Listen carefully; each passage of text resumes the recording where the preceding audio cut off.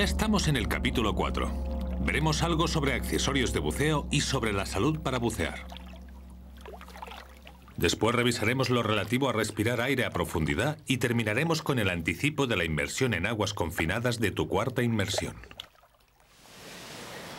Estás familiarizado con los componentes principales del equipo. Ahora veamos los accesorios que hacen el buceo más cómodo y divertido. Al bucear desde la orilla y a veces desde barco puedes llevar una boya de superficie. Te ofrecen un sitio para descansar, conseguir flotabilidad, llevar accesorios y la bandera de buceo. También sirven de marca para regresar después de un intervalo en superficie. A veces fondeas la boya y te mantienes cerca de ella. A veces la remolcas para cubrir una zona mayor. En este caso, usa un carrete para evitar los enganches y no la ates.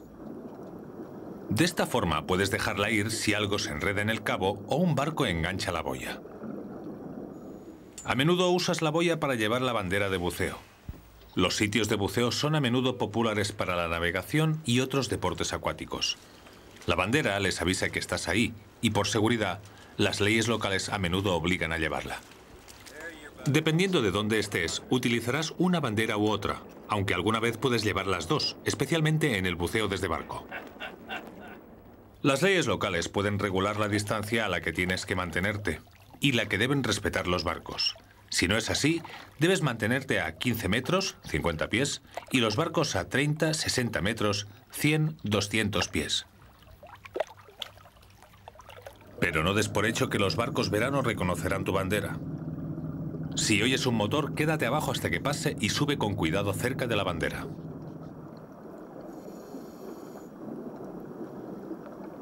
Puedes pensar que solo necesitas una linterna por la noche, aunque también es útil durante el día para mirar en las grietas o resaltar los colores.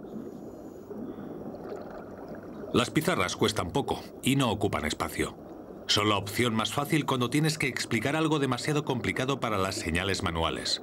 Caben en el bolsillo del chaleco y algunas van montadas en el reverso de la consola. No hay nada más frustrante que perder una inmersión porque se rompe algo y no tener repuesto. Para evitarlo, lleva repuesto para las cosas que se rompen o pierden junto a algunas herramientas básicas, en una caja estanca en la bolsa del equipo. Te sorprenderá cuántas veces este kit marcará la diferencia entre bucear o quedarse mirando.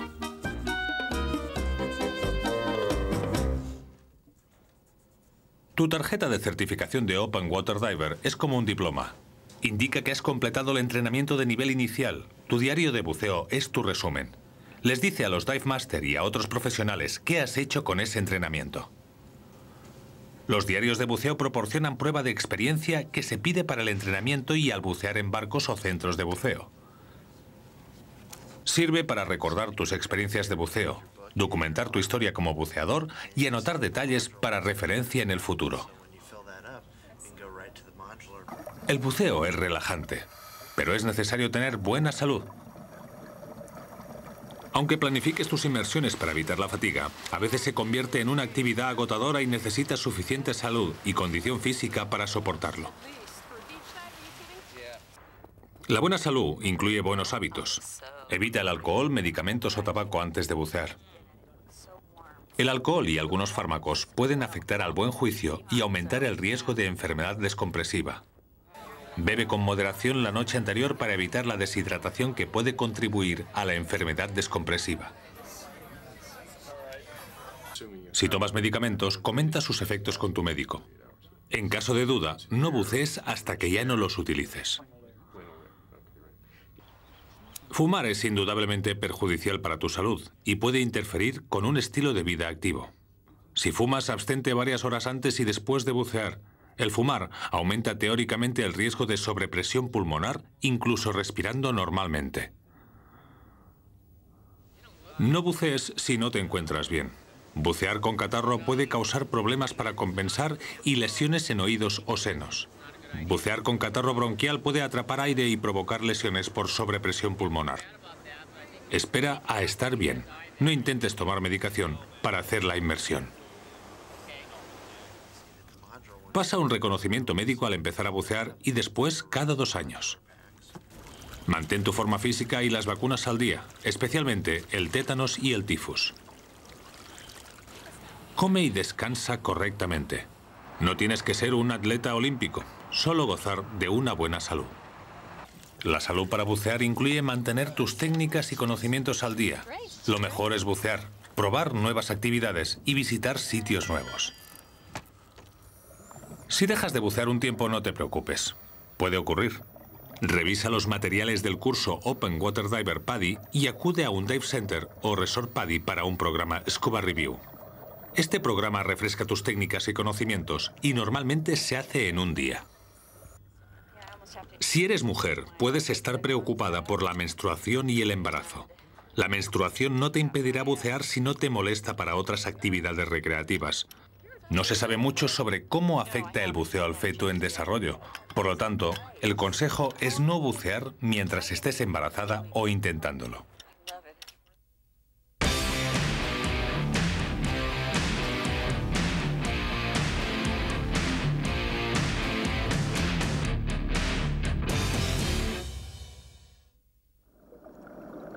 Hasta ahora has aprendido mucho sobre los efectos de respirar aire bajo el agua, como que debes hacerlo lenta y profundamente y no aguantar nunca la respiración. También hay algunos efectos indirectos que pueden causar problemas. Afortunadamente, puedes evitarlos siguiendo unas normas sencillas. Para comprender estos efectos, debes conocer que el aire es un 79% nitrógeno y un 21% oxígeno. Tu cuerpo usa el oxígeno, pero no consume el nitrógeno. El aire que respiras cuando buceas es el mismo que respiras ahora, salvo que está filtrado para eliminar impurezas y humedad. El primer posible problema, aunque raro, es el aire contaminado. Puede ocurrir si hay un problema con el compresor o el sistema de filtros, produciendo a menudo un aire que huele y sabe mal. Afortunadamente, el aire contaminado es raro porque los centros de buceo conocen su gravedad y comprueban el aire frecuentemente. Evita estos problemas cargando tu botella solo en centros de buceo profesionales.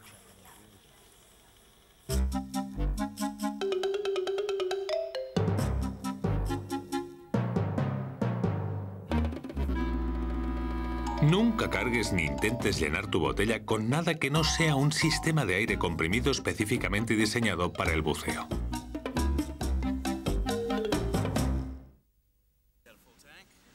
Nunca bucees con aire que huela o sepa mal, aunque lo hayas cargado en un lugar adecuado.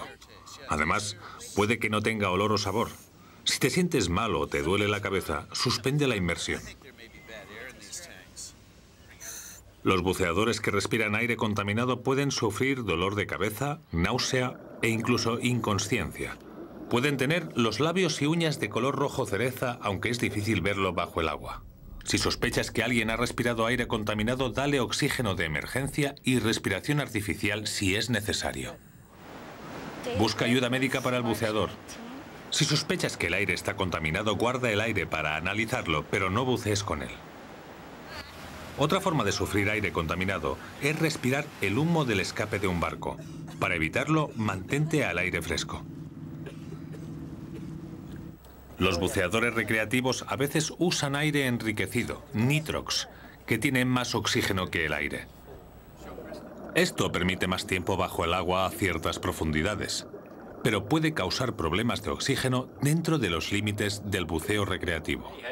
Por eso, necesitas entrenamiento y certificación especial para bucear con aire enriquecido. No bucees ni intentes cargar una botella con aire enriquecido hasta que estés entrenado y certificado para hacerlo. Aunque tu cuerpo no usa el nitrógeno, este con la presión puede intoxicarte, pudiendo notarlo alrededor de los 30 metros, 100 pies y aumentando con la profundidad. Esto se denomina narcosis de nitrógeno.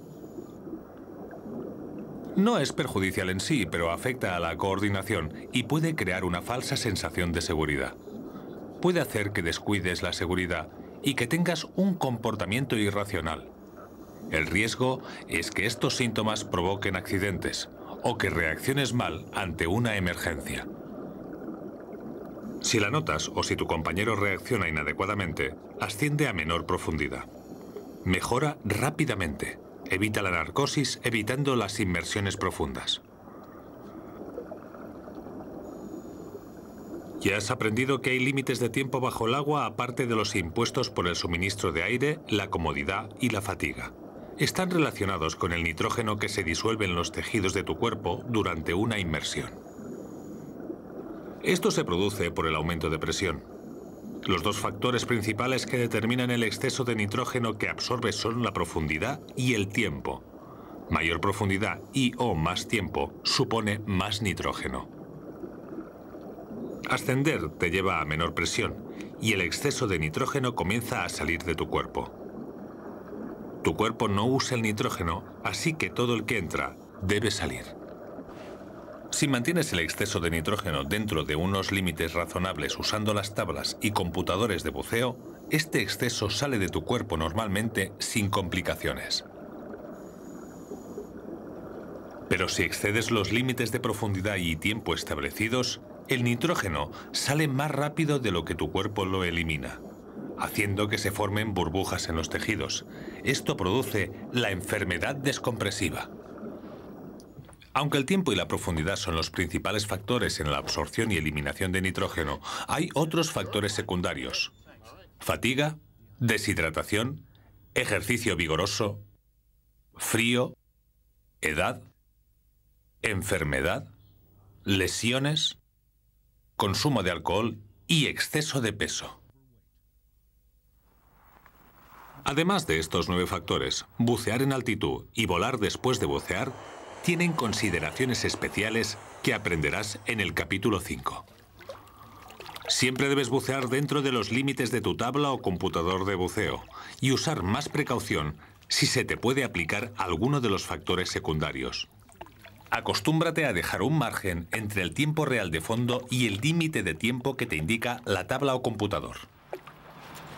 Las burbujas pueden formarse en cualquier parte del cuerpo y los síntomas varían mucho. Incluyen parálisis, shock, debilidad, mareo, entumecimiento, hormigueo, dificultad respiratoria y diferentes grados de dolor articular. En los casos más graves, incluso la inconsciencia y muerte. Los signos y síntomas pueden ser sutiles, incluyendo un dolor sordo de leve a moderado, localizado normalmente en las articulaciones. Otros pueden ser debilidad, ligero mareo y fatiga prolongada. Se presentan entre 15 minutos y 12 horas después de bucear y tienden a aparecer gradualmente y a empeorar. Aunque los síntomas sean leves, piensa que la enfermedad descompresiva es grave. Las lesiones por sobrepresión pulmonar y enfermedad descompresiva, aunque tienen causas diferentes, producen signos y síntomas similares. En conjunto, se denominan lesiones disbáricas porque no necesitas diferenciarlas para ayudar a un buceador. Los primeros auxilios son los que aprendiste en el capítulo 3, incluyendo tumbar al buceador y darle oxígeno de emergencia. Ponte en contacto con los servicios médicos y el servicio de emergencia de buceo local o la cámara de descompresión más cercana. Controla el pulso, la respiración, el shock y haz la respiración artificial y RCP si es necesario.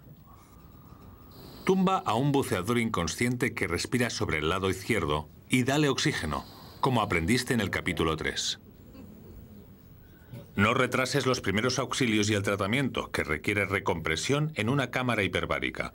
Cuanto antes empiece, menor será el riesgo de síntomas residuales permanentes. Aunque la enfermedad descompresiva es una condición grave, reduces el riesgo cumpliendo los límites de tiempo y profundidad establecidos. Evita la sobrepresión pulmonar respirando continuamente y no aguantando nunca la respiración. Haz un ascenso lento con una breve pausa a 5 metros 15 pies llamada parada de seguridad. Aprenderás más en el capítulo 5. Si tu cuerpo tolera solo un cierto nivel de exceso de nitrógeno, ¿cómo sabes cuál es y cómo mantenerte en él? ¿Al azar? No. Usas las tablas y computadores de buceo que expresen un modelo matemático de descompresión desarrollado para calcular la cantidad teórica de nitrógeno en tu cuerpo. Pero ten en cuenta que estás aplicando un modelo matemático.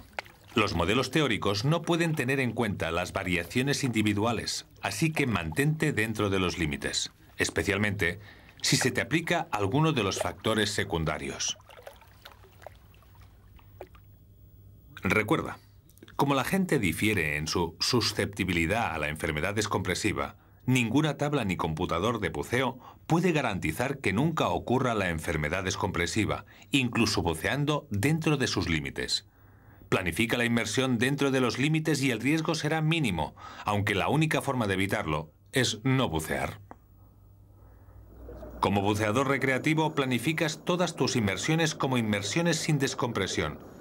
Siempre puedes ascender directamente a superficie sin tener que parar y sin riesgo de enfermedad descompresiva.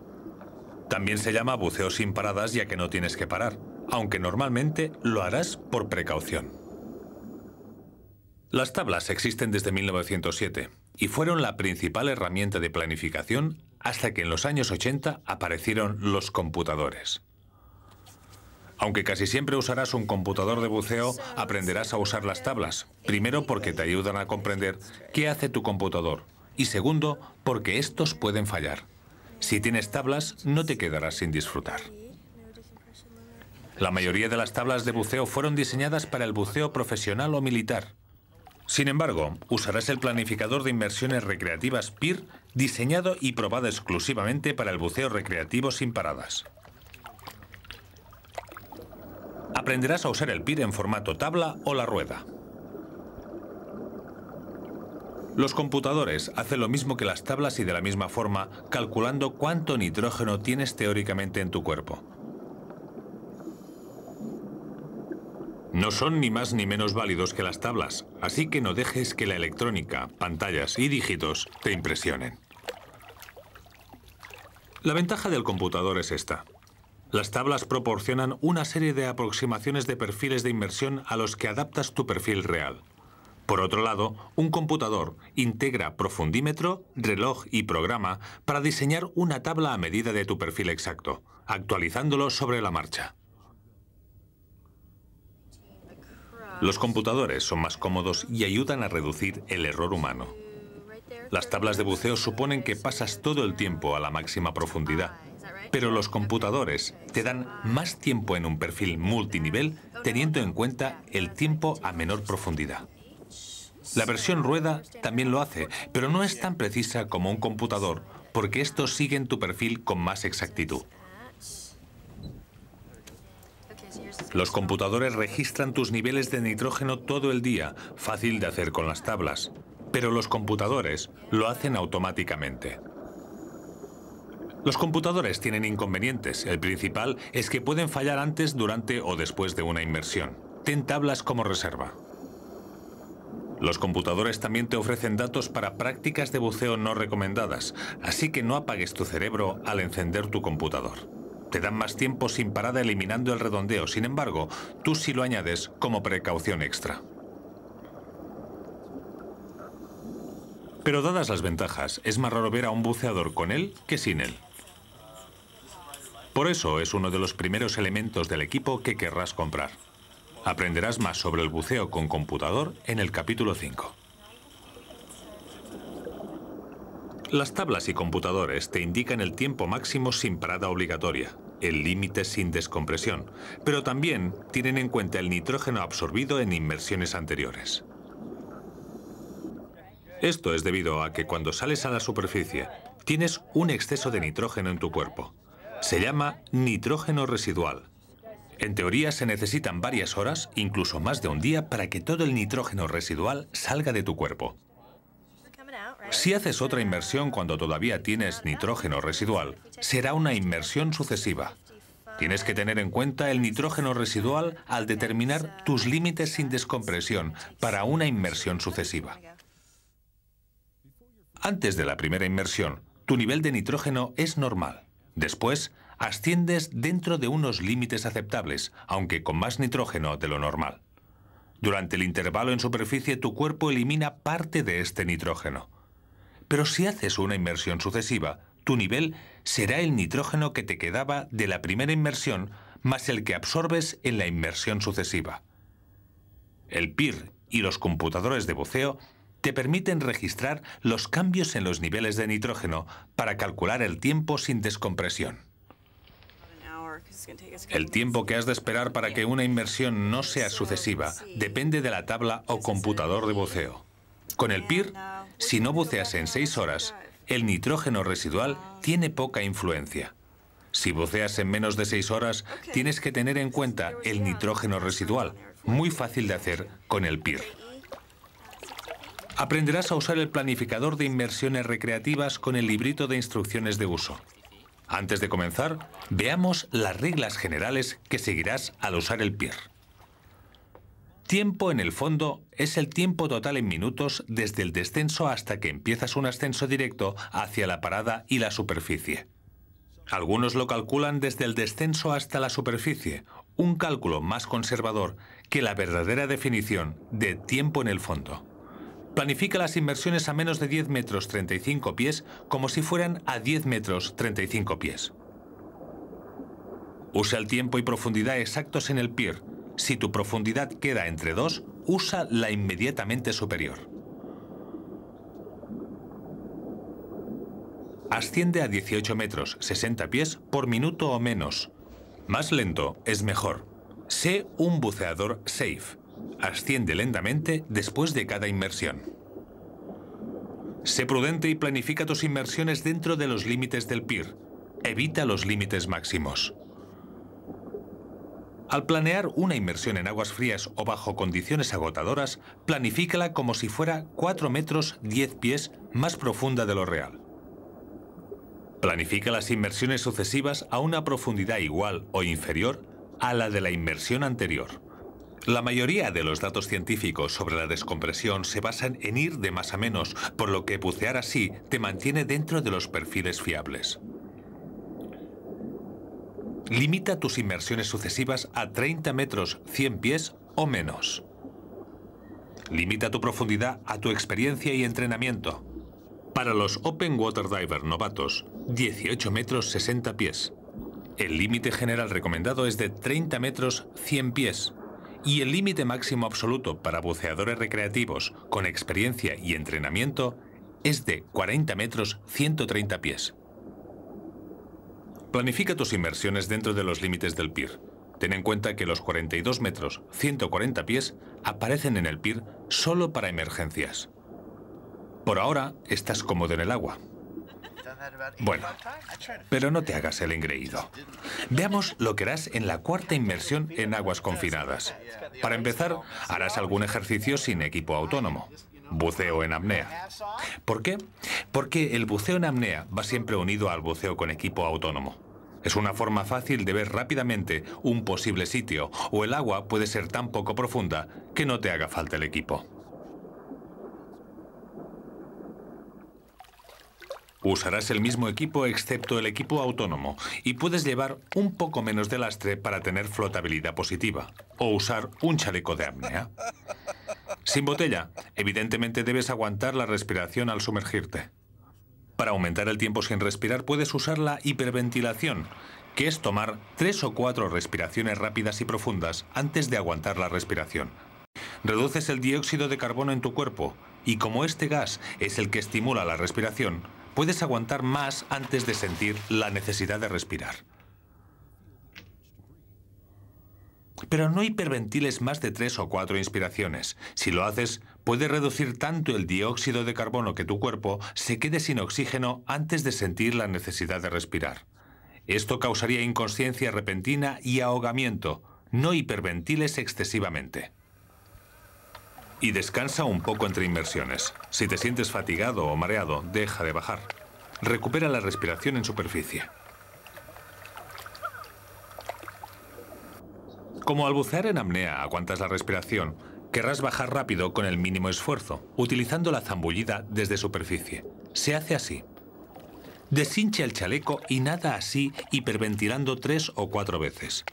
Aguanta la última respiración, dóblate hacia adelante y levanta tus piernas estiradas, así, para que su peso te lleve hacia abajo. Aletea cuando las aletas estén bajo el agua compensando al bajar. Fácil. Al subir, mira hacia arriba, nada hacia arriba y asegúrate de que el camino está libre para no golpear en nada. Tu compañero te espera en la superficie cuando bajas y viceversa. Así tendrá aire si tiene que bajar para ayudarte. Hay una forma fácil de vaciar el tubo cuando subes al bucear en apnea, llamada vaciado por desplazamiento. Ten en cuenta que al mirar hacia arriba, la punta del tubo queda más baja que la boquilla. Exhala en los últimos metros o pies y el aire empujará el agua fuera del tubo.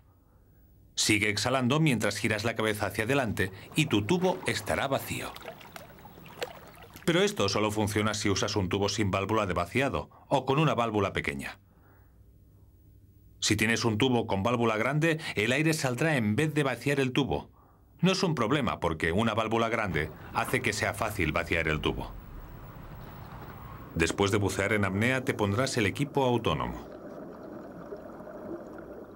Puedes practicar la entrada sentada rodando hacia atrás, útil para una plataforma inestable como un barco pequeño. Siéntate en el borde con todo el equipo en su sitio, hincha el chaleco, comprueba la zona de entrada y déjate caer hacia atrás sujetando la máscara y respirando por el regulador.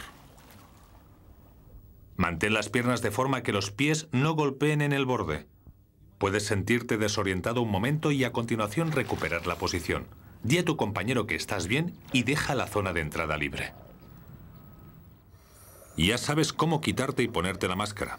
Y ahora practicarás nadar sin ella como lo harías si tuvieras que ir a superficie después de perderla. Recuerda respirar por la boca y exhalar por la nariz si el agua te hace cosquillas. Abre los ojos y verás lo suficiente para nadar. Si usas lentillas, no los abras. Deja que tu compañero te guíe para no perderlas. Bueno, es hora de demostrar tu dominio de la flotabilidad. Vas a mantenerte en flotación inmóvil durante al menos 30 segundos sin usar las aletas ni las manos. Es fácil. Logra flotabilidad neutra en el fondo y sepárate un poco. No aguantes la respiración, pero usa el volumen de tus pulmones para mantener la profundidad. Si empiezas a subir, respira llenando poco los pulmones o llenándolos más si te hundes. Es útil buscar una referencia visual, como una marca en la pared de la piscina para saber dónde estás. Si lo practicas, es fácil. Inmersión en aguas confinadas. ¡Allá vamos!